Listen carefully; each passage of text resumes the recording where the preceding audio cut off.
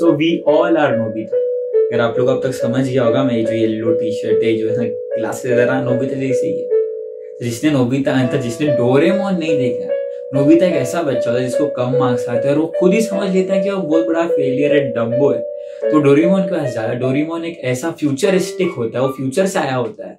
और जब नोबिता उसके सामने रोता है और बोलता है, मुझे ये चाहिए ना बस बोल देता है डोरीमोन को तो डोरीमोन उसको दे देता है।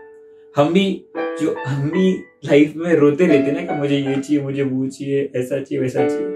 रोते हैं ना? राइट याद रखो भैया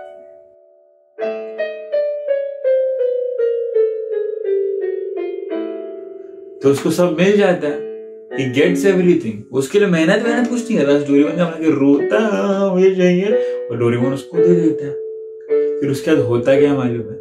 हर वक्त डोरेमोन उसको देता है चीज़ें। और एपिसोड के एंड में ना वो उसका कुछ गलत इस्तेमाल कर लेता है और फिर से रोता डोरेमोन को बोलता मुझे बचा लो। खुद ही वापस हार जाता और बोलता मुझे बचा लो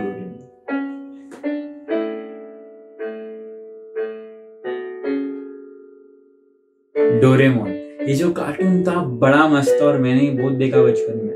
और अभी बच्चे लोग देख रहे होंगे और आपने भी देखा होगा। बट इसका जो असली मीनिंग था, मुझे आज समझा। जब भी हमें चीज़ें इजीली मिल जाती है ना हाथों में तो हमें उसकी वैल्यू नहीं होती है। एंड जब वो चले जाती है तो हमें बहुत बुरा लगता है। तो डोरेमोन हमें यही समझा रहा है रो मत चीज़ों के लिए। अगर कोई चीज़ सही है तो उसके लिए मेहनत करो और उसको हासिल करो। तब उसको तो उसका आपको असली वैल्यू भी समझ जाएगा। ठीक है?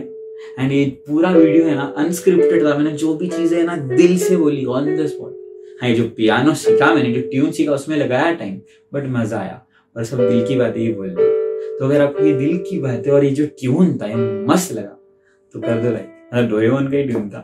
एंड अगर आपको भी असली मीनिंग असली मोरल ऑफ़ द स्टोरी पूरे डोरेमोन का आज समझाना तो कर दो शेयर वीडियो सब डोरेमोन फैंस के साथ, क्योंकि आप भी तो रहोगे ही ना। एंड अगर आपको ऐसे वीडियोस देखने हैं ना तो सब्सक्राइब करो ऑसम शिट ये टकलू है ना, टकलू जो दिख रहा होगा, उसको सिर्फ़ क्लिक करो। ठीक है? But till then, all the best and be awesome.